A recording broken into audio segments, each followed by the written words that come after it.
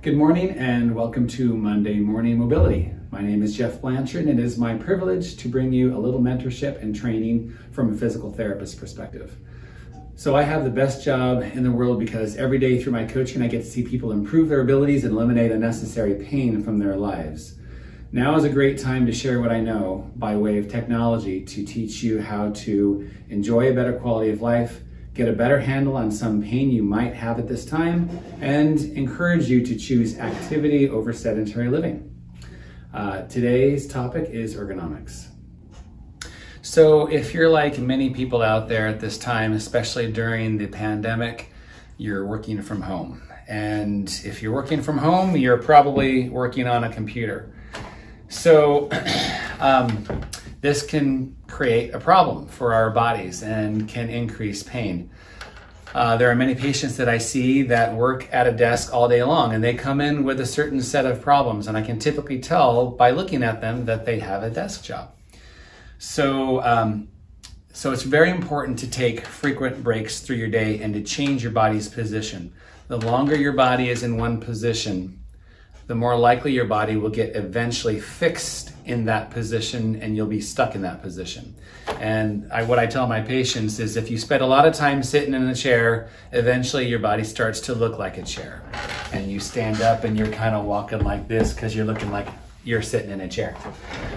Okay, so with setting up your workspace at home or at work, there's a number of things you want to make sure you're doing to try to take care of your body, especially your spine.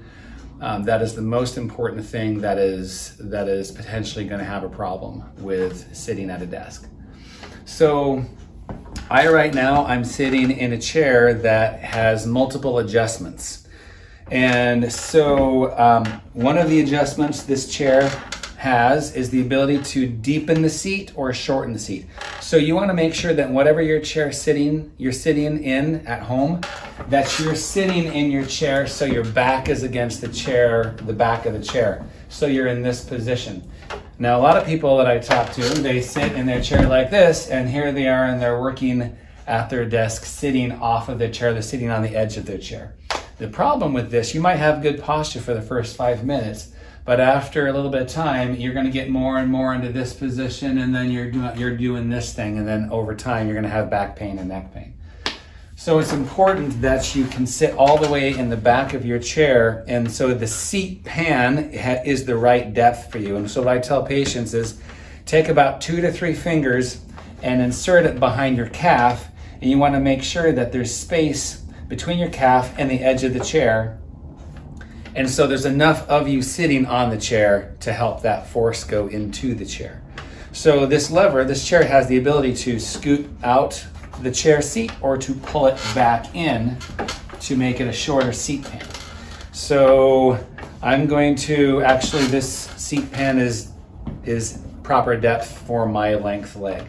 The other thing is the height of the chair. So you want to make sure that the chair is proper height so that the up and down Okay, so I have pressure into my feet, but my knee should be just a little bit below my hip height. So there should be a very slight downward slope through my femur going from my hip to my knee.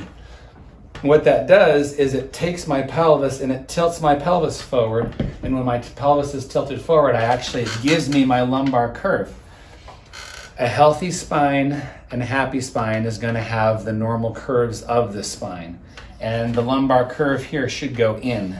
So then there's the chair back. So the back should be convex, this direction, not concave. I see a lot of chairs where they have concave backs and people are in this position here which again is going to make things a lot worse. And so you want to scoot all the way in the back of the chair. You have a convex back that fills your back in, that holds your back into this proper position. And so you can work in this position with a proper back position. If you look at my shoulder, my shoulder lines up directly over my hip. So as you're working, you want to have that shoulder hip alignment. What happens oftentimes is people start to cave in this direction and they're working here so they've got their shoulder in front of their hip because their back has lost that natural curve and is actually curving into a C curve going in this direction. Then their head comes forward, which then stresses out the neck. So you want to have this straight position. The head should line up right over the shoulder, which should then be right over the hip. So you're here. so the chair is key in making sure that you're lining yourself up. And if you're home and you don't have a very good chair, we don't exactly know when we're all going to be going back to work. I think it would be worth spending some money and making sure that you get your hands on a chair that has the adjustments. Um, there's also the, the back of the chair. There's the ability to adjust the chair back. Now, if you're too far back here, a lot of people will get the recline and then they'll work into this position here. Again, much harder on the spine to be in this position. So you want to be up. You want to have that back here. So it's propping you again in that vertical position here. So now with this desk, I want to be a little bit higher because you want your wrist just below your elbow height. You want a slight downward slope through your hands.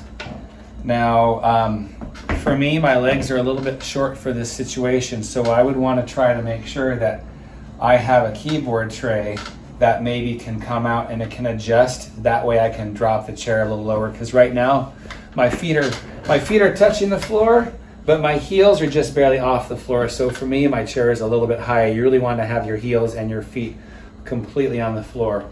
So I'm having to make a little adjustment because this, the way this desk is, it won't go any lower than it is right now. So it's not the perfect situation for me. Um, this is an ergonomic keyboard. Uh, for me, not my favorite thing, but for some, if those people who have hand and wrist pain, this is a good way to go if you have hand and wrist pain, carpal tunnel problems. So because it allows you to be more of a natural position, which is here, versus a this position, which would be a standard keyboard position. And then you want to have your mouse right next to your keyboard. So the other thing is we want to make sure you're doing is that you're keeping your elbow by your side. So as you're working on keyboard, oftentimes I'll find that people are working in this position here. They have their arms in front of their bodies, they're here, and the mouse is over here. You can have especially neck issues, shoulder issues, um, uh, headaches. Those things are all going to be made worse by this forward position through your arms. So you need to make sure that you can scoot into your into your keyboard or bring your keyboard towards you if you have a keyboard tray so you have your elbows by your sides, and then you're in this more 90 degree angled position. So you can be here, there's your mouse, and so your mouse is not far away. So you can be here working on your computer. And then finally, you want to make sure that your monitor is aligned and so your eyes line up with the top one third of the monitor. so it's very common for monitors to be too low which will pull you down this direction. It gets you out of that natural position. So a high monitor and also you should be able to touch the monitor with your fingertips with your back touching the chair. So this monitor is about a perfect distance for me. Um, if it's too far away, then again, you'll find yourself getting into this position, which again rounds your back out, which we don't want to do. We want to keep your back in that nice neutral position. So that monitor close enough here where then you can see you feel like, okay, that monitor is nice and close, then your head kind of comes back and sits into this position. So you have that vertical alignment through your back. Um, so sitting through the day, it's important that you get regular breaks with sitting. I would suggest that you never sit longer than 30 minutes. More than 30 minutes of time, there, uh, there's a lot more stress on the discs of the spine, on the muscles of the body, and so it's important to at least every 30 minutes get up and do something, get a, a drink of water, do a little stretch, do something different. Uh, one of the best stretches to do when you're sitting is to stand up and do a little bit of a backward bend. So if you stand up and just do a little bit of a backward bend like this, that takes your back into the opposite direction that you are sitting in, which is here, and that allows your discs, it takes pressure off of your discs, and it allows the, the back to feel better. Now, of course, don't do an exercise. If I show you an exercise and it's painful doing the exercise, don't do the exercise. Call us, come in and see us if you're having pain with certain exercises and we can help you navigate that. the last piece is if you are lucky enough to have a sit to stand station.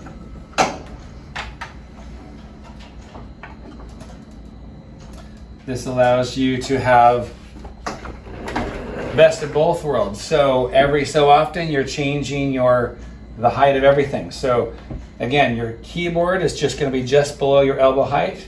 Keyboard, mouse, looks like I need to bump my monitor up a little bit more. I'd want to have my monitor right about there so I could stick a big book underneath my monitor so I could see straight ahead. My monitor in this position, I'll start to get a little bit of a forward head position like this. So that would just be a nice, easy uh, change to make. But if this was my workstation, I could then stand and work for 15, 20, 30 minutes and then go back into sitting because you don't want to be standing all day either. Any prolonged position over time is just going to be more of a challenge for the body. So you do want to move your body and take, take, uh, make some changes. So thank you for joining me for this episode of Monday Morning Mobility. If you enjoyed today's episode or found it helpful in any way, please share it with a friend and uh, please leave me a review. If you have a topic that you would like to hear about, please leave it in the comments section. Until next time, choose movement over being sedentary because motion is illusion.